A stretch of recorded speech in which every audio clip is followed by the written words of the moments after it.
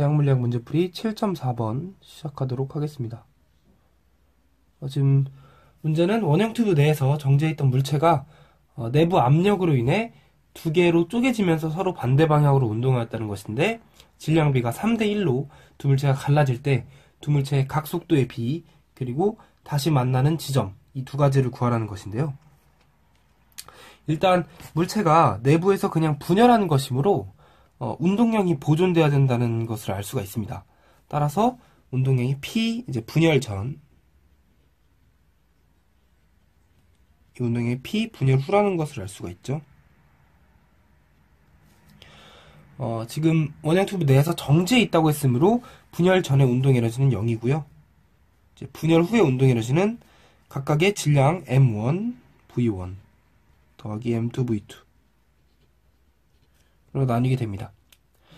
이때 V1과 V2의 방향을 고려해주면 방향이 서로 반대 방향이라는 것을 알 수 있으므로 어, 저는 오른쪽을 지금 양의 방향이라고 가정을 했어요. 그래서 따라서 0은 m-m1v1 플러스 m2v2라는 것을 알 수가 있죠. 따라서 이제 좌편으로 넘겨주면 다음과 같은 식을 알 수가 있습니다. 네. 근데 M1 대 M2의 비율이 지금 3대 1이니까요. 따라서 V1 대 V2의 비율은 지금 1대 어, 3이라는 것을 알 수가 있습니다.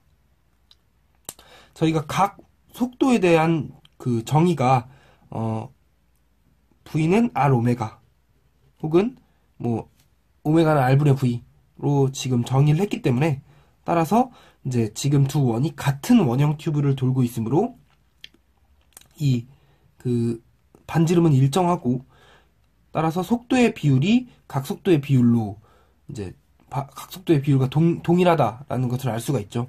그래서 오메가의 비율은 오메가 1대 이제 오메가 2는 1대 3이라는 것을 알 수가 있습니다. 어, 이것으로 각속도의 비를 구했고요.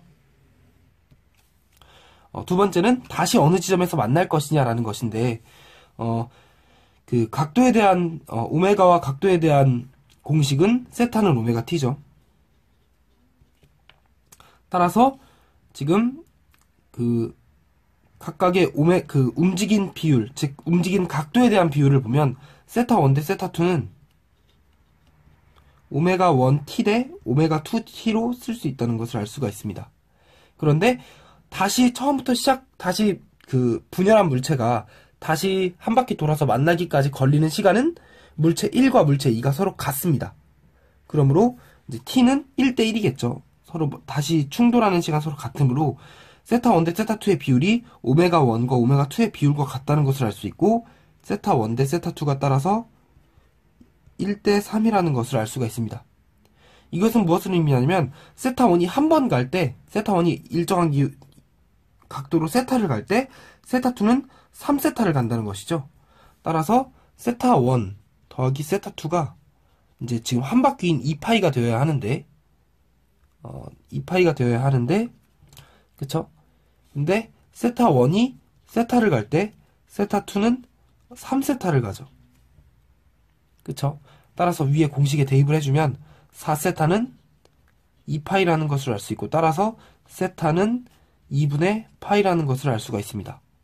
이것으로써 세타 1이 2분의 파이만큼 가고 세타 2가 2분의 3파이만큼 갔다는 것을 알 수가 있죠. 그쵸?